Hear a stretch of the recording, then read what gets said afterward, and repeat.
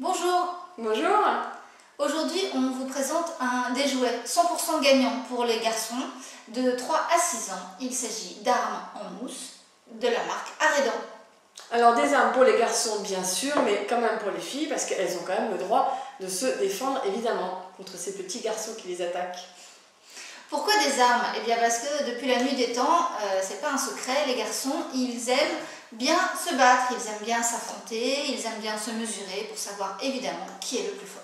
Et donc du coup, bien sûr, pour ça, il leur faut des armes, c'est quand même plus facile.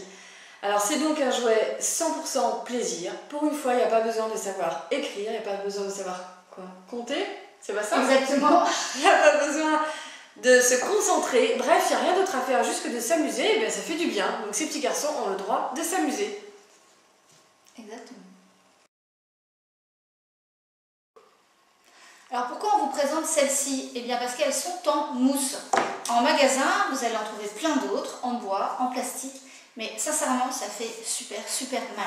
Donc si vos enfants jouent avec des armes en mousse, eh bien c'est à peu près sous contrôle. Ça ne veut pas dire qu'il faut en profiter pour se fouetter avec.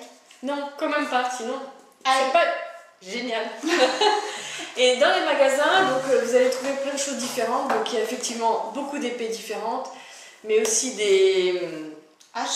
haches. Ouais, H. Voilà, mais il y a aussi des fusils, des pistolets, des, Des sabres, sabres de de pirates. pirates, voilà. Donc euh, il y en a pour tous les goûts. Et évidemment, pour se défendre, ils n'ont pas oublié les boucliers qui s'attachent au bras. Pratique. Exactement. En plus, ce qui ne gâche rien, elles sont super jolies, hein. donc euh, elles plairont à tout le monde. Et super solides. Ils vont pouvoir en faire des tonnes des combats. Donc euh, sans problème. Donc pour finir, euh, franchement, allez-y. Les yeux fermés, vous allez faire des œuvres. Vraiment. Oui, et puis juste un petit conseil, achetez-les quand même par deux. Parce que bien sûr, s'il n'y en a pas deux ou plus, pas de combat. Et évidemment, pas de combat, pas de combat. C'est sûr, c'est beaucoup Mieux. moins drôle. Ou beaucoup mieux. Voilà. À bientôt. À bientôt.